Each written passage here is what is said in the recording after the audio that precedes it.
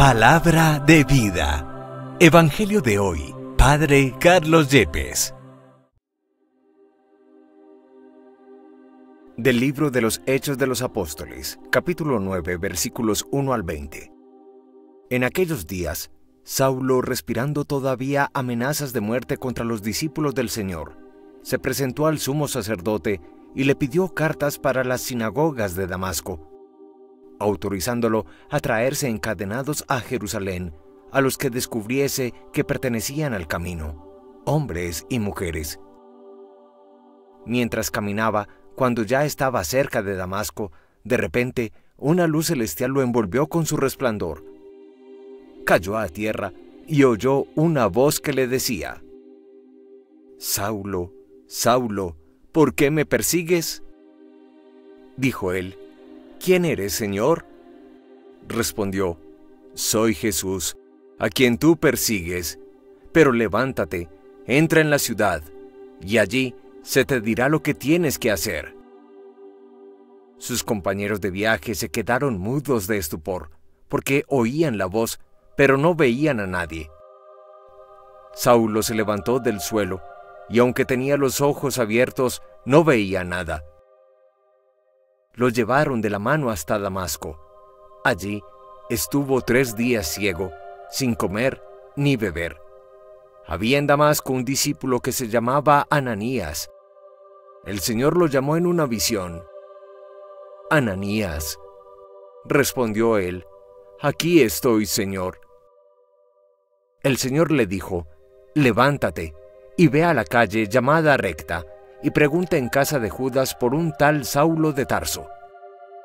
Mira, está orando y ha visto en visión a un cierto Ananías que entra y le impone las manos para que recobre la vista.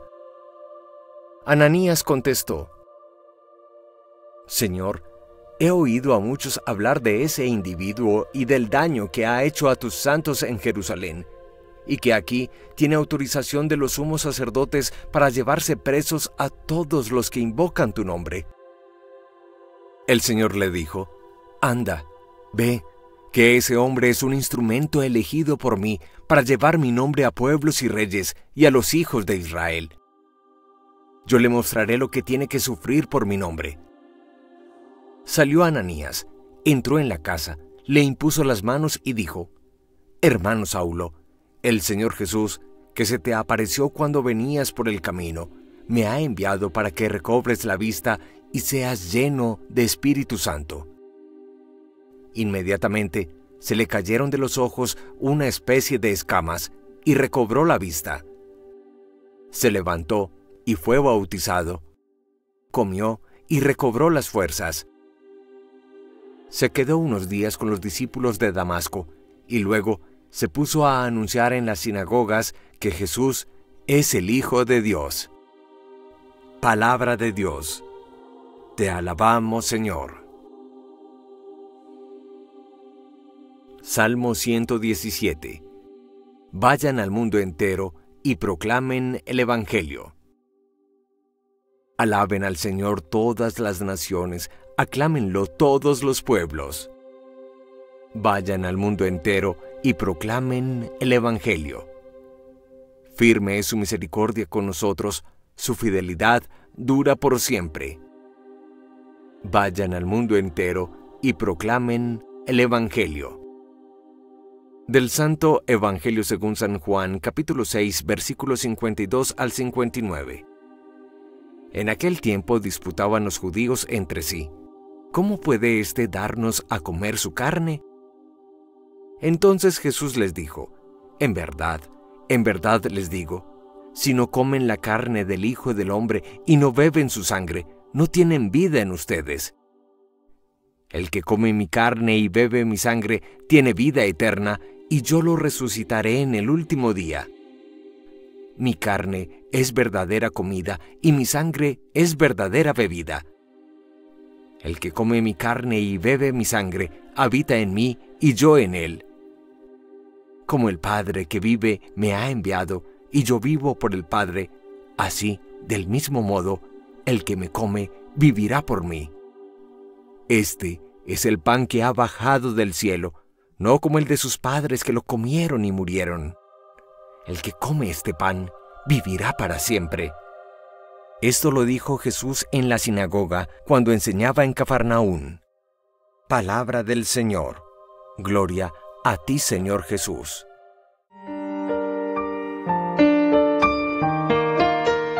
Avanzamos en esta lectura continuada del capítulo 6 del Evangelio según San Juan.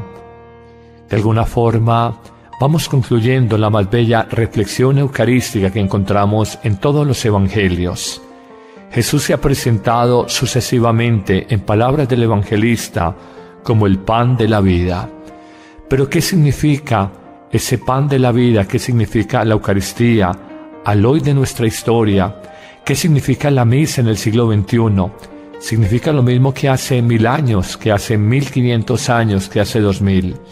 Por excelencia, la Eucaristía es el sacrificio redentor, es el sacrificio salvador, único y universal de Jesús en la cruz.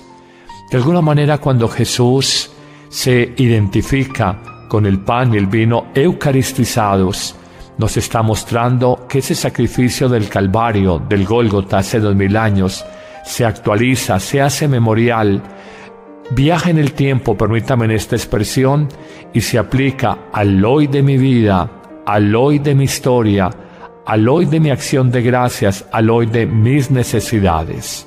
Primera gran afirmación, la Eucaristía es por excelencia el sacrificio redentor de Cristo. Segunda afirmación es memorial, es actualización. No es simplemente recordar un hecho de hace dos mil años, es verdaderamente por el misterio litúrgico, por la acción litúrgica de la Iglesia, nosotros vivimos realmente esa obra de redención en la vida personal, en la vida comunitaria el memorial de la liturgia, la actualización litúrgica, es efectivamente acudir nuevamente al Calvario 20 siglos después y reconocer que esa sangre derramada y esa vida entregada de Jesús es por mi vida, por mi familia, por mis necesidades, en mi acción de gracias, y yo me uno en ofrenda espiritual a ese sacrificio redentor. Pero habría un tercer elemento para aportar. La Eucaristía se celebra siempre en asamblea litúrgica, entonces hablamos de un misterio de comunión, de comunidad. Esa comunión sacramental que recibimos al comulgar está precedida antes por una comunión fraterna. En efecto, nos damos la paz. La comunidad, común unidad, la comunión, común unión de unos con otros, nos permite experimentar la vida de Cristo en cada uno. Cristo vive en su cuerpo, que es la comunidad de bautizados que peregrinan en el mundo entero, de manera que no es simplemente una reunión de personas que tienen un interés común, es Cristo mismo que pasa a través de de cada miembro de esa comunidad, de esa asamblea litúrgica que está celebrando. Es el misterio de la comunión y de la comunidad eucarística, un vínculo que a veces es más fuerte que la misma sangre o los puros y meros afectos humanos. Pero hablemos además de ese sacrificio redentor, de ese memorial y de esa comunión eclesial. Hablemos de que la Eucaristía es por excelencia alimento de vida, comida de vida, pan de vida. Tú sientes cuando hay fe que te vivificas interiormente, que te descubres resucitado, que la Eucaristía genera sentimientos que más allá de emociones producen gozo en el corazón, paz en el alma, deseos de salir adelante, fortaleza para enfrentar las pruebas y dificultades. Realmente experimentamos esto cada uno de nosotros. La Eucaristía alimenta y así como, no sé, una sopa, una carne, una proteína, una vitamina nutre el organismo, la Eucaristía nutre espiritualmente la vida del hombre. No es simplemente una metáfora, no es un simbolismo, es un alimento, es el nutriente. Créanme que si esto no fuera verdad, la práctica de dos mil años de la misa en principio semanal y luego diaria, sería prácticamente imposible de sostener. Lo que hace que la iglesia sea ese cuerpo vivo de Cristo, lo que hace que nosotros, hombres y mujeres, en asamblea litúrgica nos sintamos vivos interiormente, es la acción de ese alimento espiritual que nos da vida eterna, que sacia nuestra hambre y nuestra sed interior. Ustedes podrían hacer una pregunta haciendo como de abogados del diablo, permítame la expresión, y decir, ¿por qué una persona que yo conozco, todos los días participa del banquete eucarístico y sin embargo no la ve uno con vida interior, la respuesta es sencilla. Si no hay fe, si no hay esa certeza, esa convicción de que es Jesús que se nos da en el pan eucarístico, nosotros no tendremos la vida interior abierta para recibir ese nutriente.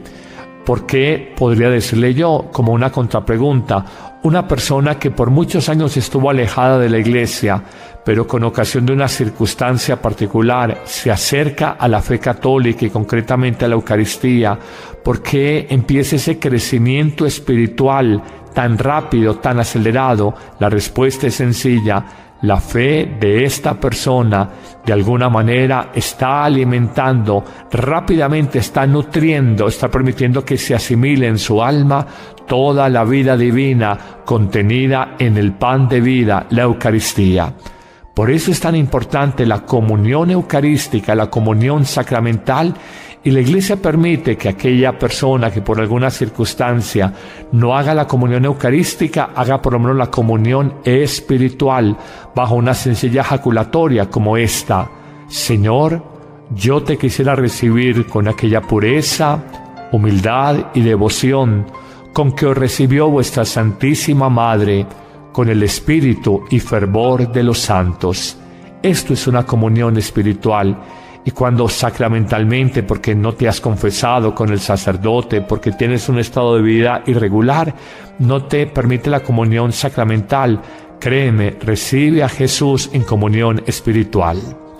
Finalmente señalemos entre muchos aspectos importantes del misterio eucarístico, del misterio del pan de vida, que hemos reflexionado en toda la catequesis de esta semana y que va concluyendo este capítulo 6 de San Juan, reflexionemos sobre la Eucaristía como el misterio del amigo, la presencia que está siempre con nosotros. Jesús ha hecho una promesa, yo estaré siempre con ustedes hasta el final de los tiempos, no los voy a abandonar. Nos preguntamos cómo se concreta esa promesa de Jesús y podríamos señalar en sacerdotes, en el sacerdocio ministerial, en miles de hombres en el mundo entero, frágiles, pecadores, pero capaces de consagrar, de hacer presente la vida de Dios en un pedazo de pan y sobre todo a partir de la Eucaristía, la presencia permanente en miles de sagrarios, de tabernáculos, de todas las parroquias, capillas, monasterios, conventos del mundo entero, Allí Jesús cumple su promesa, Él está verdaderamente presente. Por eso un sentido tan simple al entrar a la casa de Dios, a una parroquia, a un templo parroquial, nos arrodillamos porque reconocemos la presencia sacramental de Jesús en medio de ese lugar y por tanto en medio de nuestra vida, en medio del mundo. A ese amigo, a esa presencia cercana, le decimos, Quédate con nosotros, como lo dirán los discípulos de Maús el domingo de la semana pasada, y le decimos, te necesitamos. Hablemosle como a un amigo, apoyémonos en Él, sostengámonos en Él, busquemos la alegría y el consuelo en Él. No hay nada más hermoso que la visita eucarística, la visita contemplativa, la visita de intimidad a Jesús sacramentado el amigo de todas las horas. Qué bonita es esta reflexión, el pan de vida es el sacrificio redentor uno, la comunión eclesial dos, el memorial que actualiza tres, el alimento del Espíritu cuatro, la presencia amiga que nos sostiene y acompaña cinco. Señor Jesús, gracias, gracias por tu presencia eucarística en medio del mundo Señor Jesús, gracias por enseñarnos lo que es el misterio inmenso de esa afirmación. Yo soy, yo soy el pan de la vida. El que come de este pan vivirá, vivirá para siempre. Amén. Que el Señor te bendiga abundantemente en este día, en el nombre del Padre, y del Hijo, y del Espíritu Santo. Amén. Vive con sentido. En abril, cuando el mundo vive la Pascua cristiana, redescubre la promesa de vida abundante que Jesús promete a todos los creyentes. Cuando crecen en la sociedad tecnocrática y en los hombres y mujeres de nuestro tiempo, el tedio de la vida, el sinsentido de las relaciones afectivas y el vacío de Dios, es urgente escuchar el mensaje siempre actual de Cristo resucitado. Él nos invita a recibir su paz, a creer en la fuerza del amor, a redescubrir el valor de la libertad, a superar los miedos paralizantes y a abrirnos a la vida en plenitud por el poder de la fe, la esperanza y la caridad de Cristo. Encuéntranos todos los martes y jueves en un nuevo horario a las 8 pm en vivo por YouTube y Facebook Live con Joana Londoño y el Padre Carlos Yepes desde la Semana de Pascua. Te esperamos.